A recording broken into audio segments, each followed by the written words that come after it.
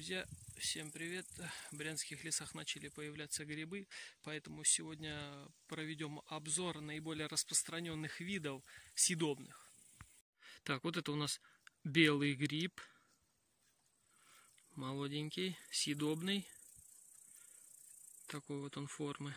Вот это вот подосиновик, съедобный гриб.